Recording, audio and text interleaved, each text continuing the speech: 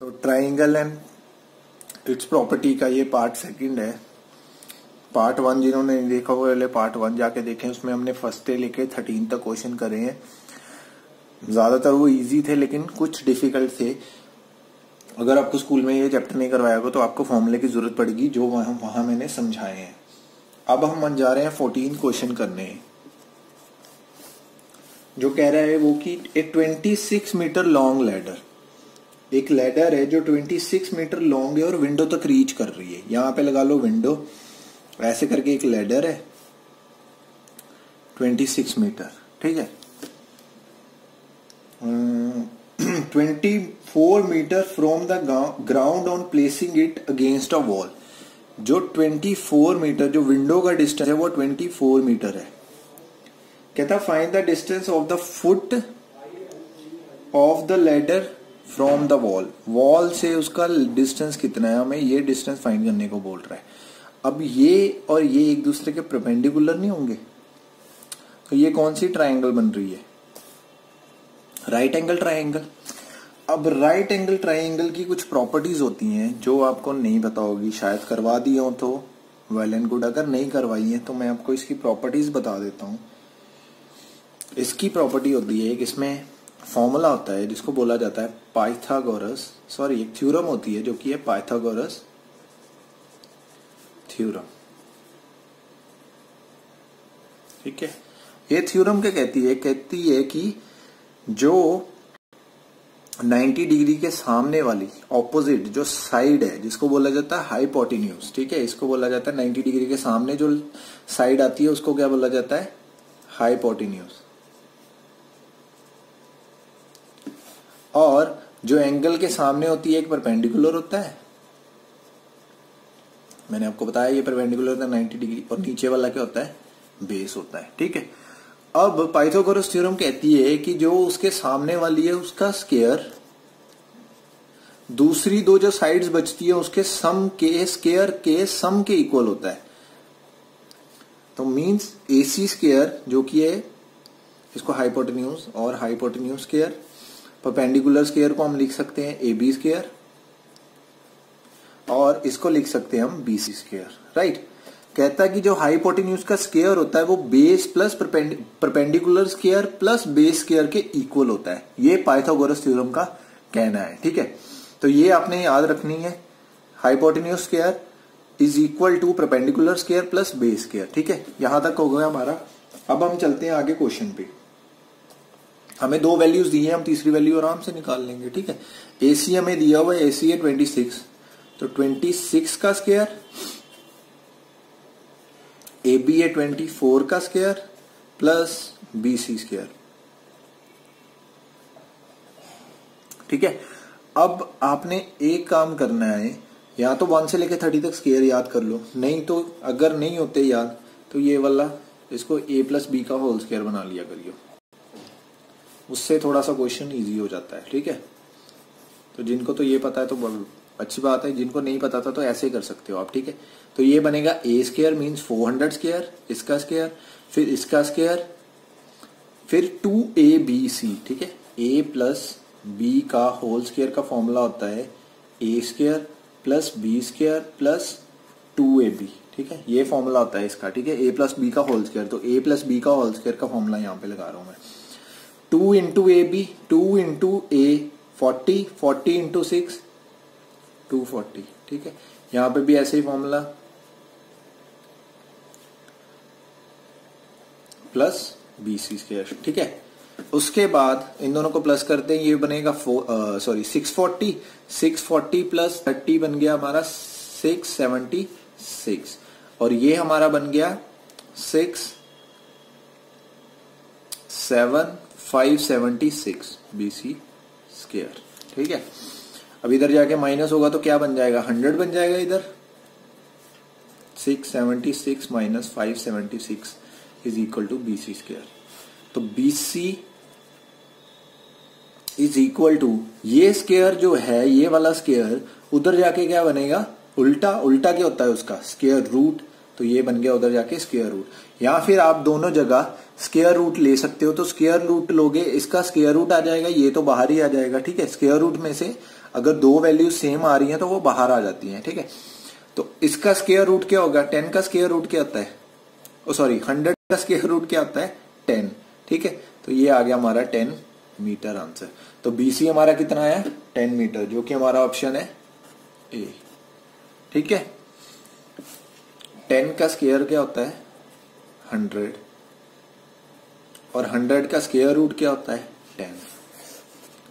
ठीक है? तो अब चलते हैं हम नेक्स्ट क्वेश्चन पे।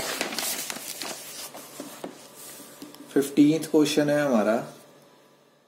अब नेक्स्ट क्वेश्चन में वो कह रहा है, कहता है कि एक ट्री है जो ब्रोकन हुआ है। Tree is broken at a height of five metre from the ground. Ground से फाइव मीटर तक वो टूट गया। ठीक है? फाइव मीटर के बाद वो टूट गया और नीचे गिरा होगा। ठीक है? ऐसे करके। तो कहता जो उसका टॉप है it's top touch is the ground at a distance of twelve metre from the it's base उसके बेस से वो ट्वेल्व मीटर तक टच कर रहा है जाके, ठीक है? तो कहता फाइंड द ओरिजिनल हाइट अब ओरिजिनल हाइट क्या होगी? ये वाली हाइट प्लस जो ब्रोकन पार्ट है, उसकी हाइट तो हमें बेसिकली ये चीज़ फाइंड करनी है। तो ये भी सेम वही फॉर्मूला पाइथागोरस थ्योरम ठीक है? क्या आएगा? A C square B C square plus A B square तो ए सी स्केयर हमने फाइंड करना है इस बार। बी सी हमें दिया है ट्वेल्व। ट्वेल्व का स्केयर होता है वन फोर्टी फोर। फाइव का स्केयर होता है ट्वेंटी फाइव। तो ये बन जाएगा वन सिक्सटी नाइन। तो ए सी स्केयर किसके इक्वल आ गया? वन सिक्सटी नाइन के। अब दोनों का स्केयर रूट करेंगे। ए सी का स्केयर रूट आएगा ए सी ही। क्योंकि वो स्केयर में है। इसका स्केयर रूट आएगा थर्टीन।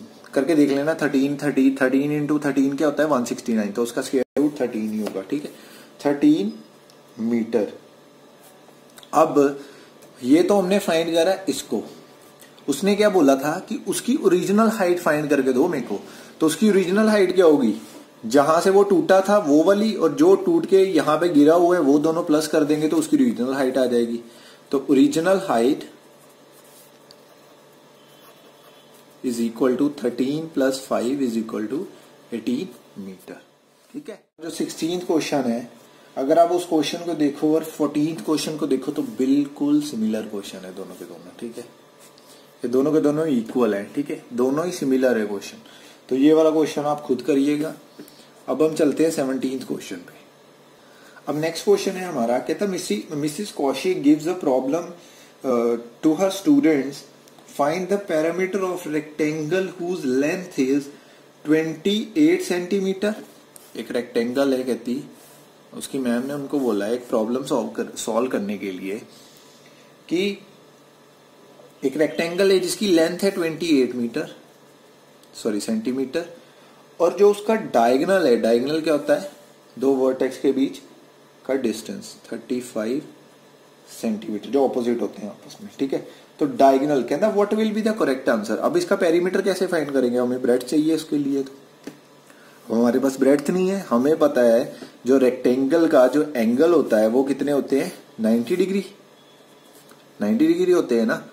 तो हम ट्रायंगल बना लेते हैं। ये क्या बन रही है? Triangle with 90 degree. तो पाइथागोरस लगाएँगे। ये वैल्यू हमारी आ जाएगी। उससे हम पेरीमीटर फाइंड कर लेंगे। ठीक है? तो सिंपल सा क्वेश्चन है। B D square hypotenuse square is equal to base into base square plus perpendicular square तो बेस है हमारा 28 का स्केयर प्लस यहाँ पर भी वैल्यू डाल लेते हैं हम सीधी। 35 स्केयर और 28 प्लस बीसी स्केयर ठीक है? अब हम इसको फॉर्मूला फिर से वही पैसे सॉल्व करते हैं, जैसे हमने पहले करा था ए प्लस बी का होल स्केयर से।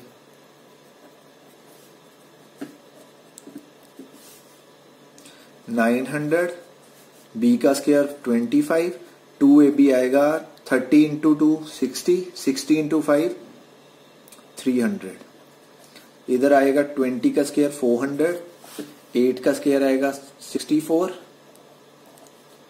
plus forty into eight three twenty, plus B C square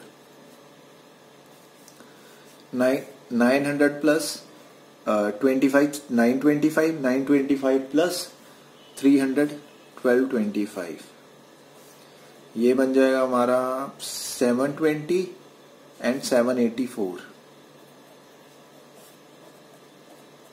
ये माइनस करके आएगा हमारा। कुछ तो आएगा। One and four and four तो बीसी किसके इक्वल आ जाएगा? दोनों का स्क्वायर रूट लेंगे तो बीसी किसके इक्वल आएगा? ट्वेंटी वन के। तो ये करके देख लेना, आपको याद होनी चाहिए थोड़े बहुत, मेरे को भी इतनी याद है ट्वेंटी वन तक ट्वेंटी वन का होता है फोर फोर्टी वन ठीक है? तो ट्वेंटी वन सेंटीमीटर हमारा क्या आ गया? ब्रेड आ गई, ठीक है? अब हमारे पास ब्रेड भी आ गई है। अब ब्रेड आ गई, अब हम पेरीमीटर का फॉर्मूला लगाएँगे। पेरीमीटर क्या आएगा? Of rectangle perimeter of rectangle क्या आएगा? Two into length plus breadth तो लेंथ कितनी है?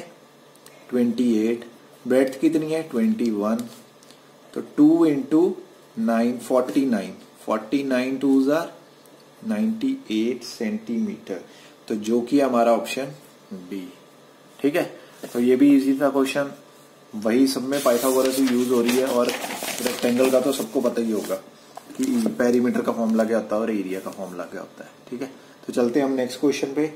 नेक्स्ट क्वेश्चन है हमारा एटीन क्वेश्चन अब नेक्स्ट क्वेश्चन हमारा देखिए, वो क्या कह रहा है? एटीन में state T for true and F for false तो फ़र्स्ट क्वेश्चन हमें दे रहा है, कहता in the given right angle triangle A B C एक A B C right angle triangle दी हुई है। ए बी सी बी पे कहता है 65 डिग्री है और सी पे कह रहा है, कहता है 25 डिग्री है। और उसके बाद कहता कि जो ए बी स्केयर है, वो किसके इक्वल है? B C square plus A C square के या सी ए स्केयर जो भी, ठीक है? अब ये दोनों मिला के अब नाइन राइट एंगल ट्राइंगल है तो 90 डिग्री यहाँ पे होगा। मैंने क्या बोला था? Hypotenuse square perpendicular square plus base square होता है। तो हाई पोटिन्यूज तो यहाँ पे बीसी है। तो बीसी तो उसने इधर लिख दिया हुआ है। दैट मीन्स ये क्या है? फॉल्स ठीक है? Hypotenuse square is equal to base square plus perpendicular square होता है। तो हाई पोटिन्यूस हमेशा 90 डिग्री के सामने होता है। तो 90 डिग्री के सामने है तो बीसी स्केयर है। यहाँ पे एबी स्केयर कैसे आ सकता है? तो ये क्या है? फॉल्स है। अब चलते हैं हम सेकंड क्वेश्चन पे इसके। तो फ़र्स्ट हमारा ऑप्शन आ गया फॉल्स तो ये सब में ही है तो एबीसीडी सारे के सारे ऑप्शन ही आ रहे हैं इसमें तो। ठीक है? तो अब नेक्स्ट पे चलते हैं हमारा। नेक्स्ट क्वेश्चन यहाँ पे उसने दिया है। सेकंड पार्ट उसका। The length of the third side of a triangle can be smaller than the difference of the length of other two sides third side की जो लेंथ है कहता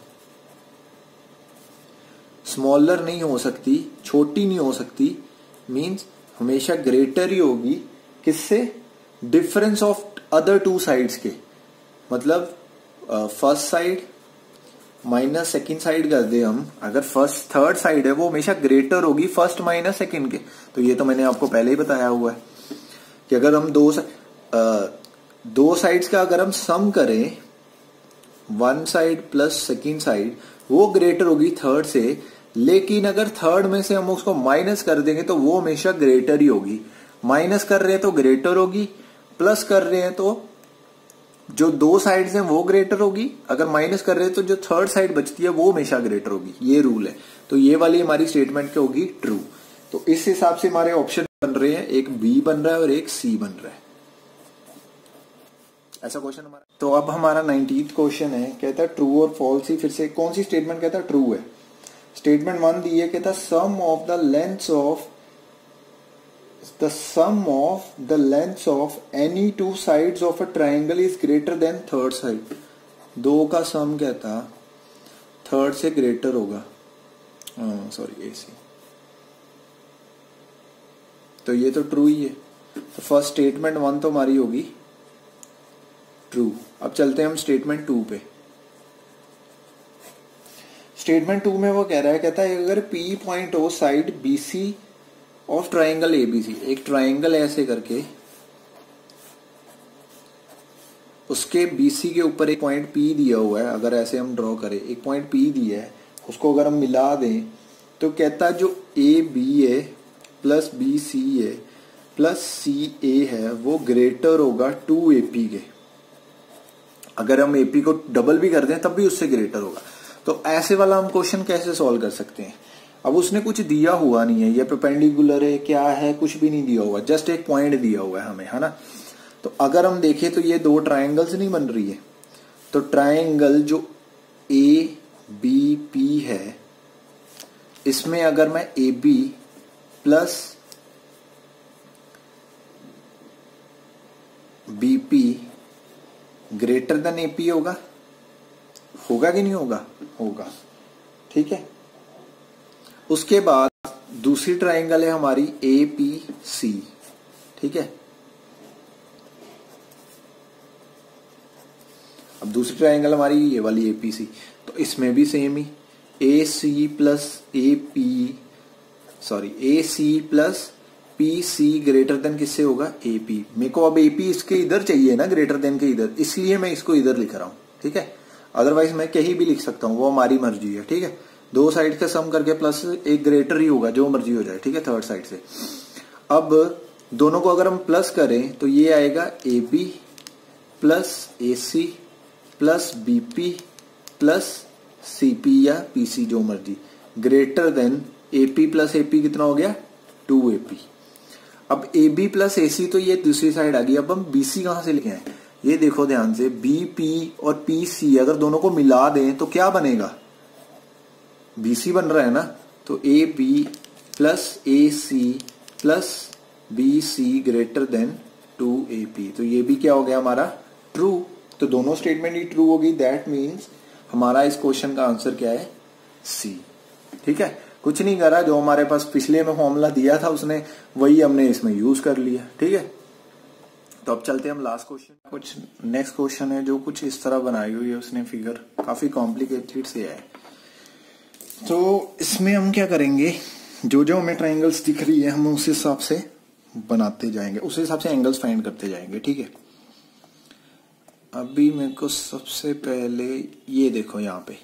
बी क्यू एंड ई तो in triangle B Q E जो triangle दिख रही है, उससे दो एंगल उसमें आने चाहिए फाइंड करते रहो बस, ठीक है? प्लस करके कितना होगा? 180 30 प्लस 31 प्लस जो एंगल ये वाला है, ठीक है क्यू किसके इक्वल होगा? 180 डिग्री के। तो एंगल क्यू किसके इक्वल आ गया? 180 डिग्री माइनस 61 तो एंगल क्यू किसके इक्वल आ गया? 119 के। तो ये हमने फाइंड कर लिया 119 डिग्री ठीक है। उसके बाद हमें पर इसको फाइंड करने का कोई फ़ायदा तो है नहीं है, क्योंकि ये कौन सा ट्राइंगल बन रही है? तो ये तो हमने गलत एंगल फाइंड करा। अब मेरे को एक ट्राइंगल है यहाँ पे, देखो T C N E in triangle T C E ये वाली ट्राइंगल में हम इससे हमें ये एंगल मिल जाएगा और उससे एक्स हमें इजीली मिल जाएगा। ठीक है? तो thirty one plus thirty five thirty one plus thirty five कितना हो गया? Sixty six sixty six minus one eighty वो एंगल आएगा हमारा एंगल टी तो one eighty minus sixty six तो ये हमारा आ गया वन वन फोर तो एंगल टी हमारा आ गया वन वन फोर तो ये एक लाइन पे बन रहा है, एक लाइन को काट के जा रही है तो दोनों का सम कितना होगा? वन एटी तो जो हमारा एक्स है, वो कितना आएगा? वन एटी माइनस वन तो ये हमारा आ गया सिक्स सिक्स बस सिक्सटी सिक्स डिग्री एक्स तो हमारा गया सिक्सटी सिक्स डिग्री तो इस, इसमें ऑप्शन सिक्सटी सिक्स डिग्री अब उसने देखो, ये ध्यान से, अगर हम ध्यान से क्वेश्चन देखें, उसने बोला find the values of X and Y respectively respectively का मतलब होता है, पहले अगर एक्स लिखा है तो पहले एक्स की वैल्यू लिखना, अगर वाई लिखा तो वाई की वैल्यू अब यहाँ पे 66 सिर्फ़ बी ऑप्शन में आ रहा है, पहले. एक 66 ए में आ रहा है लेकिन वो बाद में आ रहा है। हमने तो एक्स फाइंड कर रहा है वाई बाद में आ रहा है। तो इससे तो हमें सीधा ही पता चल गया हमारा बी ऑप्शन ही करेक्ट है। फाइंड कर सकते हैं हम वाई भी। ऐसी कोई बात नहीं है कि हम वाई फाइंड नहीं कर सकते, लेकिन हमें ज़रूरत क्या है? अगर हम, हमारा आंसर ऐसे ही आ रहा है तो हमने क्यों उसको फाइंड करने के लिए जाना है? ठीक है? तो ये तो क्वेश्चन था आपका इजी सा। ठीक है? लेकिन अगर फिर भी कोई फाइंड करना चाहता है, कि मेरे को वाई भी फाइंड करना है बस। ठीक है? तो वो टाइम वेस्ट होगा। ये जो हमने ट्रिक लगाई है वो सही है। लेकिन अगर करना हो अगर बाय चांस वहाँ पे 66 एक और ऑप्शन में दिया तो, तो तब हम क्या करते? तब हम वाई भी फाइंड करते और क्या करते? बी डी हमारी ट्राइंगल बन रही है यहाँ पे बी डी एन एस ठीक है? अब यहाँ पे देखो in triangle B D S ठीक है? बी डी एस अगर हम ट्राइंगल देखें हम यहाँ पे तो बी डी एस में क्या है? Thirty thirty six thirty six और ये सिक्सटी सिक्स तो सेम ही आएगा, ये भी वन वन फोर ठीक है? तो ये भी एंगल हमारा आ गया वन वन फोर और ये वन वन फोर माइनस करके कितना आ जाएगा? Sixty six sixty six plus sixty six कितना हो गया? One thirty two one thirty two minus one eighty कितना हो गया? वो हमारा वाई आ जाएगा।